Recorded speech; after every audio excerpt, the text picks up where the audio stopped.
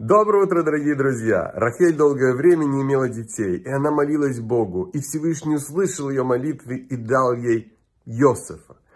После этого она сказала, что Бог даст мне также и другого.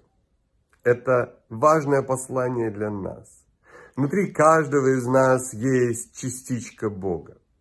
Во-вторых, каждый из нас способен совершить раскаяние и привести того другого к Всевышнему, сделать его сыном.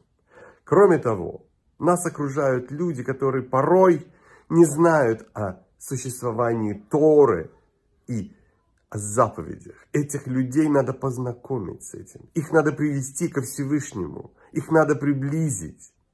И в этом наша роль, в этом наша задача. И Всевышний обязательно дает нам силы и возможности, чтобы исполнить это важное предназначение. Прекрасного дня, замечательного, радостного настроения и удачи и успеха во всех хороших и добрых делах.